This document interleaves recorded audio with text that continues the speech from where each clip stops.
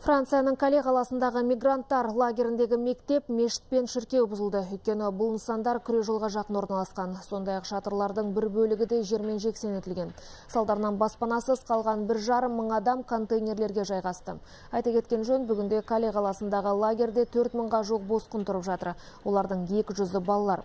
Мигранттардың дені Ұлыбританияға жетуді армандайды. Сол себепті жолға шығып, тұманды альбионға бет алған көліктерге заңсыз мініп кетіп жатады.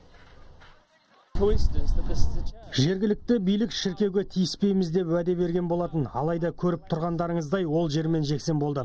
Бұл жайт мигранттардың көңіліне қаяу түсіріп отыр. Өйткені лагерді паналап жүрген босқындар үшін бұл қасиетті орын.